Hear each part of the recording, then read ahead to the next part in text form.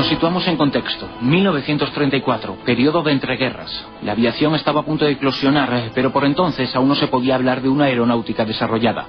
Algunos aviones norteamericanos ya habían alcanzado los 400 kilómetros por hora, algo menos los rusos. En Alemania se avistaba en la lejanía el desarrollo aéreo, pero la Luftwaffe de Hitler aún acababa de iniciar su desarrollo apenas un año antes. Sin embargo, y de forma sorprendente, miles de escandinavos comienzan a denunciar que en sus cielos se están viendo masivamente aeroplanos capaces de extraordinarias maniobras que para la época eran dignas de la ciencia ficción.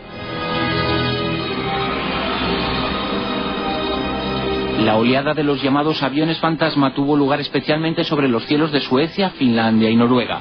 Investigadores como el norteamericano John Keel registraron hasta 100 apariciones durante ese año.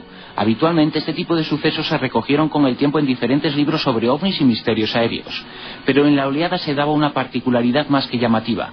Los testigos describieron no los clásicos platillos volantes, sino aeroplanos grises, indistintivos, sencillos en su aspecto, a veces rudimentarios a tenor del posterior desarrollo. Eran básicamente como los aviones que se fabricarían casi diez años después. Pero en ese año 1934, el futuro se hizo presente en Escandinavia.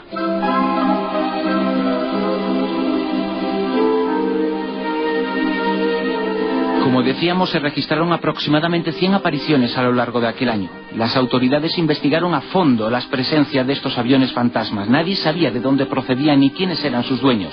En ocasiones se dio la orden de proceder a su derribo, pero los aviones aparecían dotados de técnicas incluso asombrosas hoy en día. De repente aceleraban y alcanzaban velocidades impensables. Todo aquello provocó que las autoridades decidieran investigar. Los sellos de Top Secret sepultaron cientos de informes oficiales del gobierno noruego. En marzo, el general Henrik Johansen, ante la insistencia de las apariciones, emitió un comunicado sincero.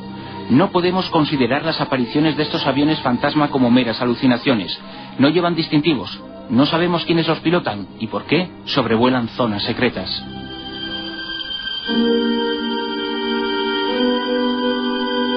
Algunos de aquellos episodios son dignos de mención. Por ejemplo, el 2 de enero de 1934, uno de esos aeroplanos fue visto en Sorsele, Noruega.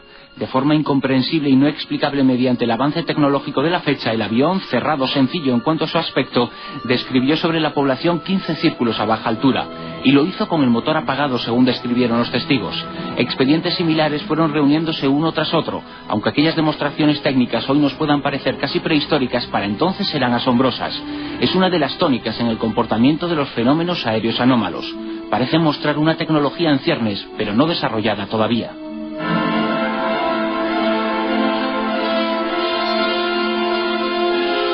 Los avances de entonces hacían que la comunicación con tierra y el apoyo a los primeros aviones prestado desde los centros de control fueran muy rudimentarios. Esto obligaba a que solo en condiciones meteorológicas excelentes se pudiera volar. Sin embargo, las investigaciones estadísticas posteriores demuestran que las apariciones de aviones fantasmas se producían justo cuando las condiciones eran adversas.